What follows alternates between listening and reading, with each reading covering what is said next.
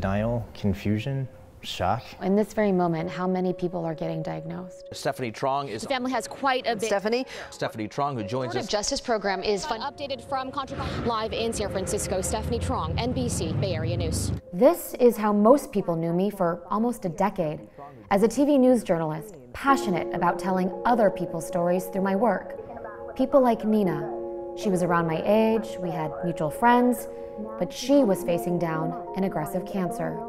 Never in a million years did I ever think her story would become mine. Life was always so good. Work was fun with my photographer turned work husband. We had travels around the world with my husband, to Dusty Dancing at Burning Man. It was December 2016 and I was feeling good. Our home was getting done. We were two months away from our wedding, but something just wasn't feeling right. So I finally got myself to the doctors and she ordered the tests.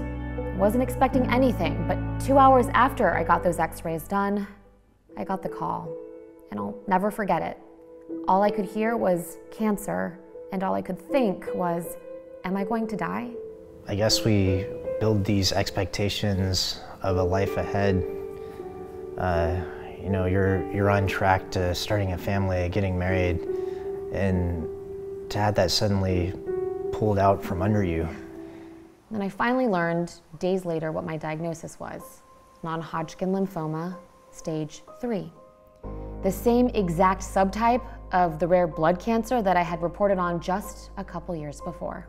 Going back and thinking about that very moment when I was diagnosed and not sure if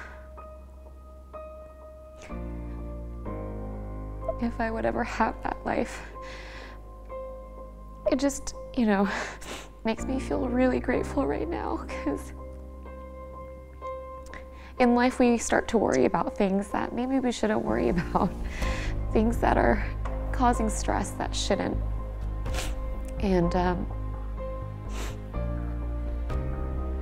having this perspective, being privileged enough to look back on it and seeing what I have now. That's how the patient story was born, a place for survivors to share their stories and help newly diagnosed patients and their families, help them feel supported. Like Ariel, she was our first interview. She'd gone through the same cancer and chemo six months before I did and had become a mentor to me. And of course, Jen, the nurse who made me laugh so much when I was drained, wondering how I was going to keep it going. This is all what motivated me to keep fighting and to get back to normalcy, whatever the hell that means. I'm so thankful to be able to say that I'm in remission now. And a month after chemo, I finally did get to have my magical wedding day, even if it wasn't a wig. But the best day of my life so far? This one, our little miracle, our baby girl. And you know, through all this, what I learned was life doesn't move in a straight line. Trauma interrupts so many of our lives illness, financial problems, divorce, it could be anything. But the climb out of that dark place honestly made me so much stronger and so much more grateful. Never more sure of the power of human connection and how we all have a story to tell.